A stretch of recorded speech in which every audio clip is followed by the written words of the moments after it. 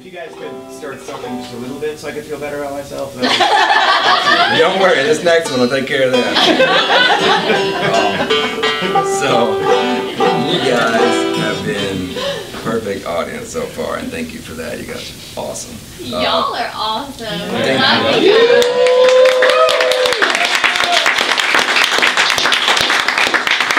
So, um, we have one more before the break, and to reward you for how great you've been, we are going to play a cover song about sweet, sweet alien love.